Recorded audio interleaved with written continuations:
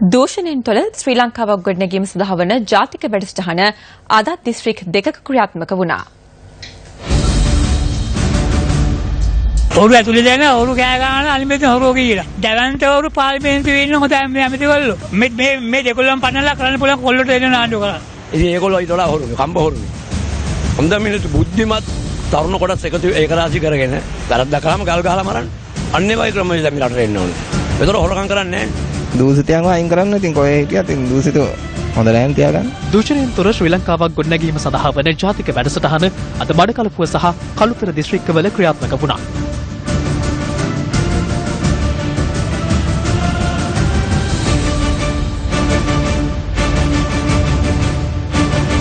අද උදෑසන කළුතර බෝ සමිඳුන් වැඳ පුදා ගැනීමෙන් අනතුරුව අප එක් කණ්ඩායමක් කළුතර නගර මතයෙන් ගමන් ආරම්භ කළා. ඉන් අනතුරුව උන් පොතුපිටිය, වාද්දුව, පානදුර, වත්තේ ගෙදර ගම්මානවල ජනතාවද හමු වුණා. අපිට කියන්න තියෙන්නේ මෙච්චරයි. හොරු කියන්නේ අරගොල්ලෝ හොරුයි හොරුයි කියාගෙන මාවා. ඇවිල්ලා මේගොල්ලෝ දැන් ඒගොල්ලන්ට හොරකම හොඳට කියා මඩකලපුව දිස්ත්‍රික්කයේ සංචාරය කළ කණ්ඩායම් අද ගමන් ඇරඹුවේ මඩකලපුව නගර මතයෙන්. ඉන් අනතුරුව වුන් මජ්ජිමා නගර ප්‍රදේශයේ සූඩු පත්තිනි හේනේ ගම්මානය, ඔට්ටමාවඩි, සිත්තන්ඩි, වාලච්චේනේ යන ප්‍රදේශවල ජනතාවද දැනුවත් කළා. තරුණ තරුණියන් එගොල්ලන් එගොල්ලන් එන්න ඕනේ ඉස්සරහට. තරුණ තරුණියන් එනවා නම් එගොල්ලන්ත් එක්ක මේ මගේ ගමේ. පළවෙනියම මම පාරට බහිනවා ඒකට.